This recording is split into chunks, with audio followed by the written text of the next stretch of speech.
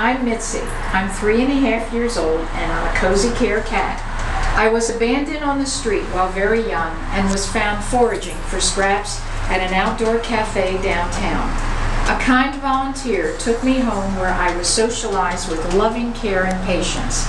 I have come a long way, learning to trust people again, and now I like to be stroked and petted.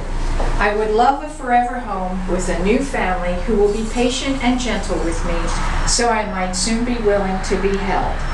Please come by and visit with me.